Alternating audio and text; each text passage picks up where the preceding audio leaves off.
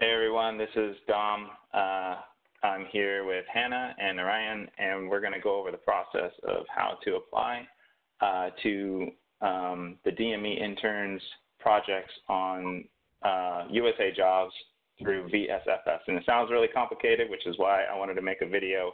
Hannah has volunteered uh, to go through the process with us, and Narayan is going to walk us both through it because neither of us has ever done this before. So, uh, Hannah, go ahead and if you want to share your screen and we can get started.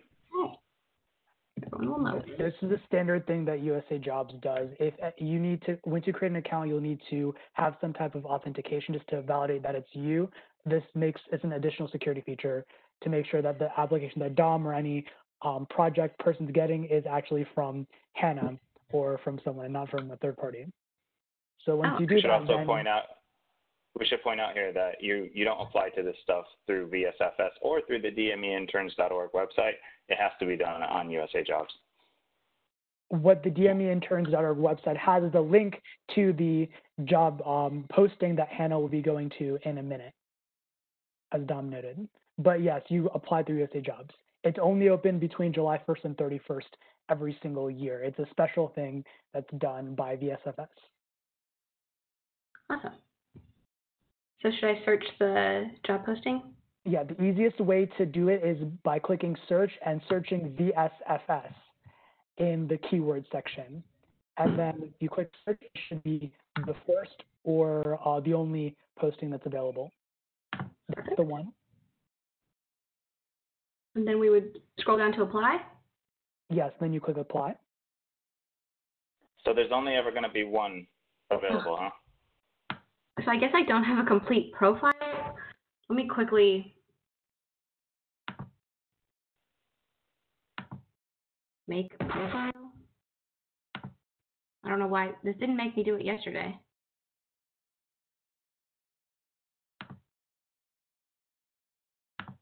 Wow. Okay. I'm back. Sweet. So I'm at the resume builder in the application. Okay, so here you would click add resume or um, since it says build resume, then you click build resume and then you would add, you have to add a name, of course. I don't think they allow you to have special characters, so you, you, that's not an issue for you, Hannah, but then you would go ahead and add work experience and other materials as. So I added that one. Let's press finish. So I have a resume. It's a pretty sweet resume you got there. Yeah. Just right, one. she's got a resume, right? What next? Right. So as you can see, the since there's a check mark in the top right corner, it's been selected. So since Hannah selected her resume, then she would then continue um, to the next page. If you want to view it, you can of course click the view button. But since you've done yours, then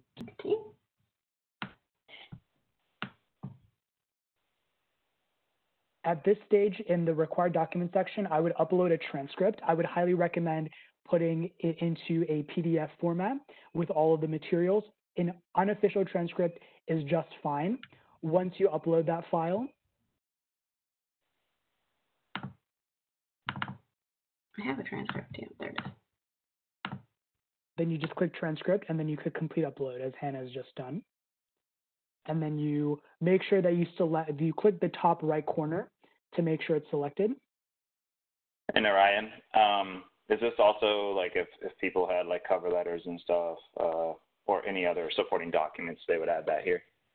In the VSFS system, you only need to paste in a statement of interest. If you want to, you're Ah, more okay. than welcome to, but it may not populate it. So at minimum, at this stage, I would include attach the res, build the resume and attach the transcript. I would Yeah, now that I'm looking at those options, that looks like the standard uh, standard uh, forms for uh, anybody applying for a federal job, like uh, DD 214, SF 15, uh, like DD that kind of stuff. I'll, I'll be honest, I don't want access to that, so because that's got private uh, social security numbers and stuff like that. So yeah, but you don't need to you don't need to add all of those, just your transcript, right? Yes. Okay. There it does require a statement of interest, but that comes later in the application. Okay. And And so now you would click continue. transcript. Continue. Documents. So if you um, have all your documents, you click you acknowledge and then you continue on.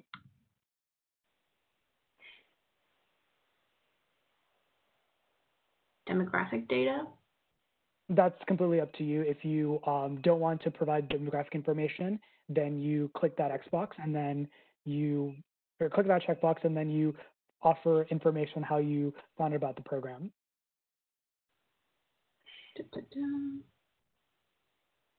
I guess agency employee told me, right?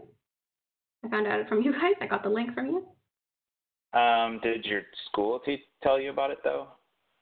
Yeah, yeah. Originally, my school told me about it. So probably I saw it on school university announcement is most Okay. appropriate. Yeah. And then save and continue. Yes, then you would click save and continue. And then you click that to certify. And then now the USA Jobs application portion is done. If you can click continue to agency site, it will then populate this information to the Department of State portion of the application. And then this sweet graphic that shows that all of her files are being sent over to the Department of State. Oh, okay. Nice. I've never seen this part before. Um, And so this is the Department of State specific application. Um, Hannah would first fill out personal information, and then there would be a set of questions about her, like, or an individual. you might want to pause before you go filling Yeah. that in. Yeah. we'll see if we can get the uh, birth date obscured as well. And my address. I mean, it's just eh, it's there. yeah. Yeah, we'll, we'll we'll try to cut that whole part out. Or Okay. just at least block the screen. So she's filling out some personal information here. Um, and we're going to be on to the next page.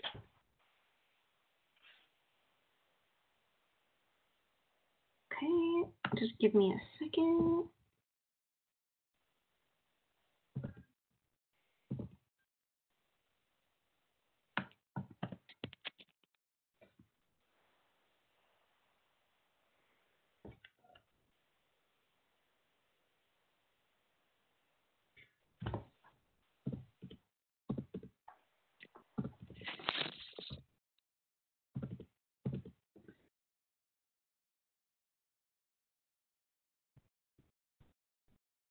Hold on one second.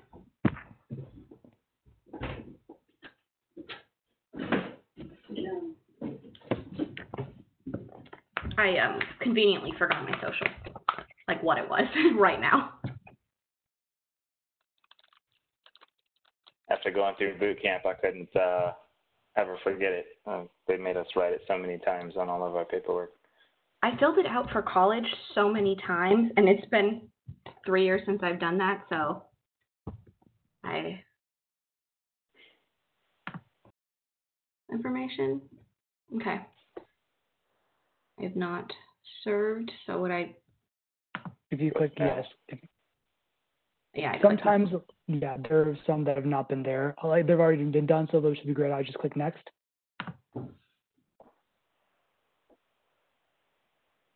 And so as you see, your resume has been populated from USA Jobs.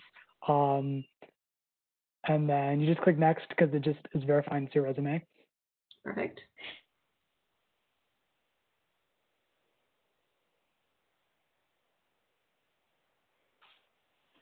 So that's those are the initial steps for since you were the this is your first time create applying to, through this program. When you click apply to this vacancy, then you'll go to the formal application. So just click apply to this vacancy, Okay.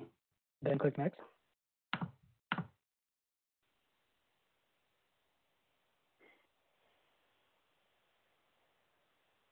So for the first question, you click yes. Um, federal jobs, as Dom has told, has mentioned, they have a variety of different grades. This does not apply, has have a federal grade since it's an internship. So you click NA and then Washington DC is your location. It's virtual.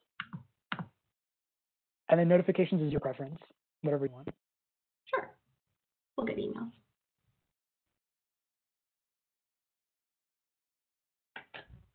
And then everything else is just an eligibility um, type thing. Very importantly, for number for number three and everything after that, you need to click on the R list um, link and then find your school and you find your major, which you will demonstrate. So Is just that going to highly populate recommend to a do specific control code? F. Yeah, it's highly recommended to do control control F to find your university here. And do I click this or yes, do once I? you, you click on it and then it will automatically add it. Perfect.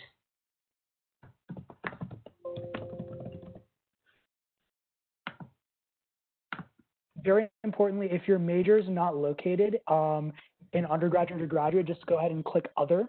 Because, for example, I had a health administration, but that's not located here, so I had to click other for my major. And if you have two minors, then just include one of your minors um, there.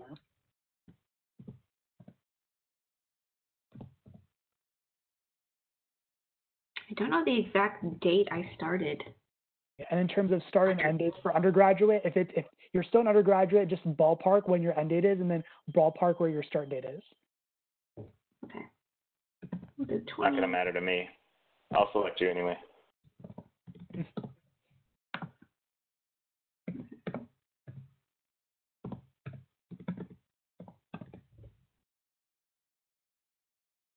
And since I'm not in a graduate school, do I just I would skip that for now since you're not in graduate school. perfect? And so now I press next. Yes.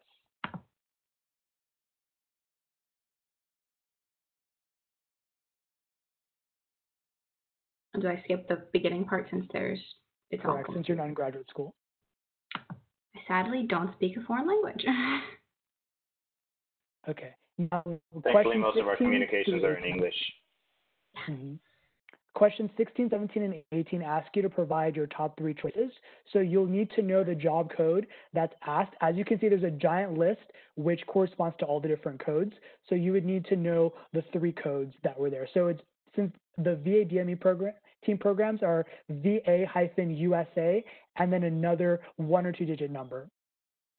I pulled So up in. Hannah's case, researchers is your project. So as you've see, shown, VA USA 23 is your first choice. Can you uh, go to the DMEinterns.org website? Yeah. I just want to show uh, that. Oh, you don't need to log in. Oh, whoops. There. Just a simple one. For anybody who doesn't know what code they need to use, um, if you go to application information, it's uh, the center of the VA. We have a whole list of all the projects that we have, and um, you can just find.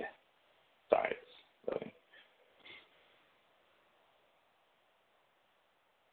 Notice we have the uh, we have the codes right next to them anyway, but you can actually click through, and that'll take you to the VS, VSFS page for each one. You can read more about it.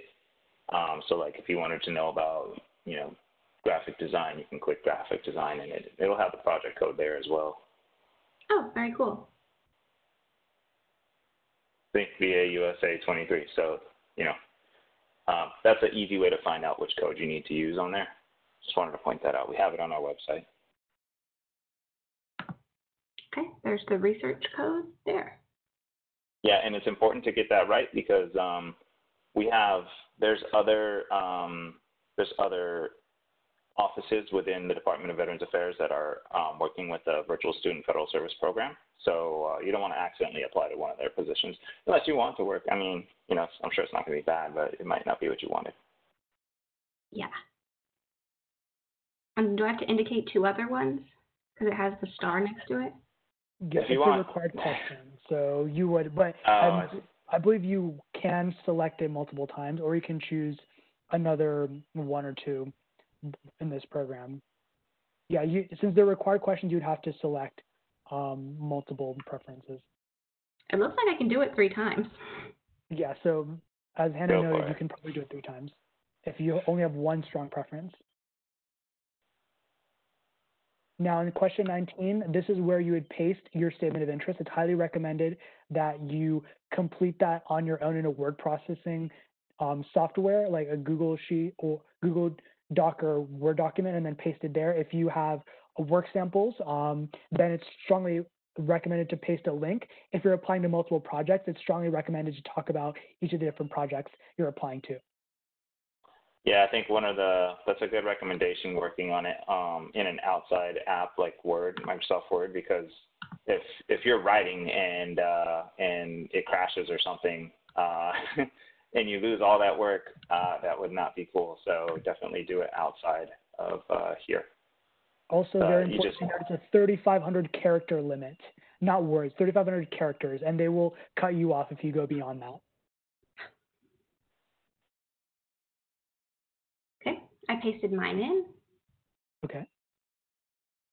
And then 20, is it just a personal? Yeah, 20, that's 21. up to you, whatever you'd like to do. 21, you have to choose yes, um, but yes.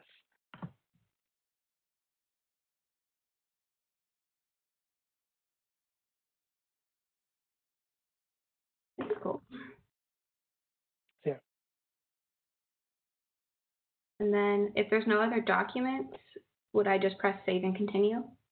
So yeah, in this case, um, as you can see, your transcript has been attached. If there are multiple documents, it'll ask you to attach one, but you've got your transcript, so now you just click save and continue.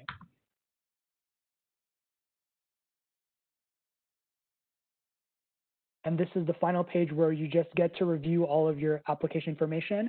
I would strongly encourage any applicant to just make sure that you've chosen um, the correct job codes, you have your transcript uploaded, and all the questions are correct. And if so, then you're ready to submit. Okay. Submit. And is this just the confirmation? Yes. So if you click view your dashboard, you can, you, sorry, if you click download a copy of your application, you can get a copy of that uh, previous page for your records. The dashboard helps you see where your application is, if it's um, being accepted, completed, um, ex- or denied or whatever. And then you can also return back to USA Jobs if needed. But yeah, you're done. Congratulations, Hannah. You have officially completed your application. Yay. All right. Well, that's the first time I've actually seen this whole process. It's uh, a little confusing, but um, thanks for uh, walking us through it. Is there any, uh, you know, anything else you think people should know, Narayan?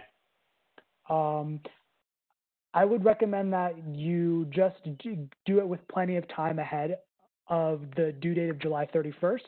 Uh, make sure, as noted earlier, to fill out your cover letter, um, or more specifically, your statement of interest. Be very thorough about it, um, and then paste it in after you're done. And then I would recommend checking in frequently um, your on your status on USA Jobs. You can just log in and then see where your application is at. Okay. And uh, my recommendation here is that um, one, definitely take a look at dmeinterns.org on the application information page to make sure you know all of the options available to you and the uh, applicable job codes. Click through to the VSFS uh, explanation for each one of those uh, full project descriptions, and I will copy the job codes from there just to be doubly sure that you're getting the the, the legit correct codes, just in case there was some like error in translation when it was copied over to our website. Um, and then definitely don't uh, don't only submit partial uh, uh, resumes. we we are only doing that for the sake of uh, time management here. You want to fill that thing completely out um, as though this was an actual job. USA Jobs is uh, is the official um, you know application portal for a federal job. So this is all legit, above board. Um, so definitely fill that out uh, completely and correctly. And uh, yeah, uh, that's about it. Um, uh, thank you both for joining me and helping uh, put this together. And, you know, I look forward to everybody who's watching this joining the team.